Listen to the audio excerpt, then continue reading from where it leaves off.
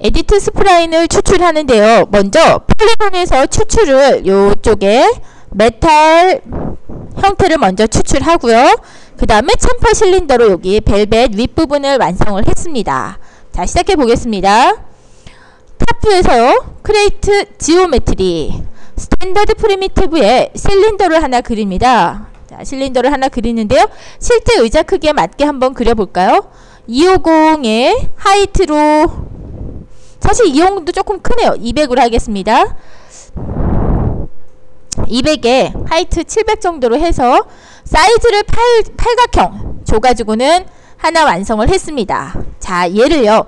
modify edit spline 덩어리니까 아니 edit spline이 아니라 edit polygon이겠죠. spline이 활성화되지도 않아요. sub select edge로 가셔서 위에 있는 edge와 컨트롤 키를 눌러서 아래 edge들을 그 다음에 perspective view에 오셔서요. 자, 얘를 이렇게 전체를 한번 볼까요? perspective view에 오셔서 컨트롤 키를 누르시고 여기 edge를 선택하면 edge를 선택하면 선택에 추가고요. Alt 키를 누르시고 고기 사이에 있는 요 두 개의 edge를 선택하면 선택에서 빼주기입니다. 지금 선택한 선들을 create shape, create 생성하겠다, shape 별도의 edit spline 형태로 추출하겠다는 얘기예요.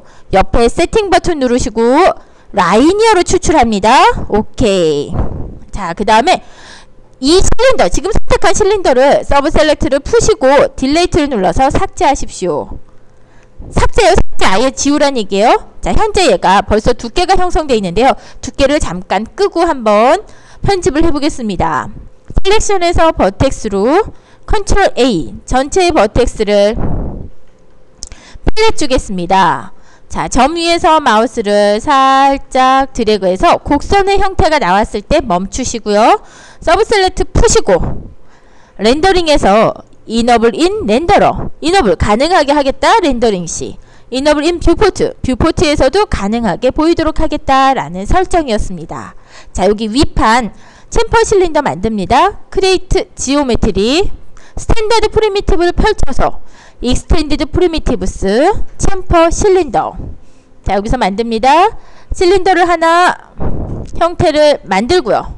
정렬 한번 해볼까요? top view에서 테두리 부분을 마우스를 자 얘가요 아무 때나 클릭하는 것이 아니라 마우스를 오버시킬 때 십자가 모양 생기는 순간이 있어요. 그때 클릭해 줘야 됩니다. X, Y를 센터 센터 중앙으로 잘 맞춰줬어요. 오케이. 이제 front view에 오셔서 Y축으로 얘를 올려서 이렇게 중앙에 위치를 잡아주시면 완성되겠습니다.